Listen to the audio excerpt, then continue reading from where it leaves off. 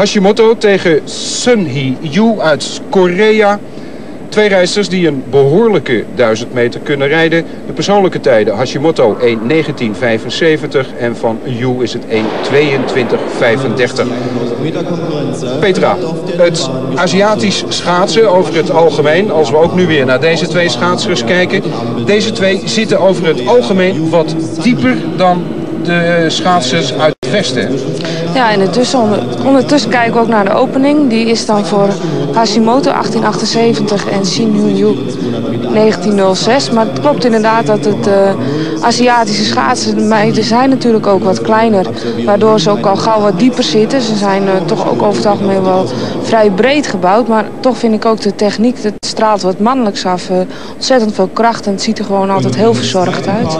Als we dan naar die buitenbocht kijken, dan zien we inderdaad dat die techniek er goed uitziet. En we gaan naar de doorkomsttijd kijken op de 600 meter.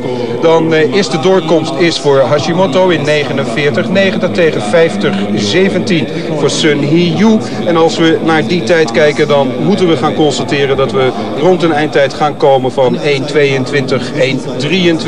Als ze in ieder geval die slotronde behoorlijk vast kunnen houden. Maar we weten bij de 1000 meter dat die slotronde zeker nog wel eens tot problemen kan leiden. In ieder geval uh, gaat de overwinning naar Hashimoto. Dat is duidelijk nu ze die laatste binnenbocht uh, aan het rijden is. En dan zie je dat het tempo toch al iets naar beneden gaat. We kijken naar de eindtijd voor Hashimoto. 1.23.49 tegen 1.24.80 voor Sun Hee Yu. 1 minute 24,80 reicht Yu Sunhee.